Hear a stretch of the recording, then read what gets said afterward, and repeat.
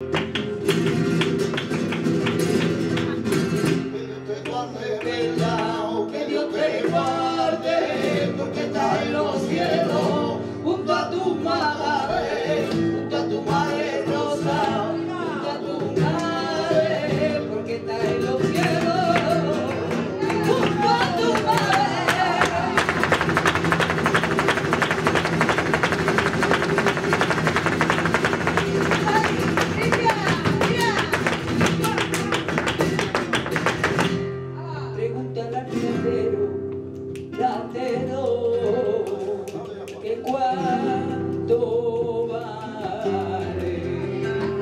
Aleluia.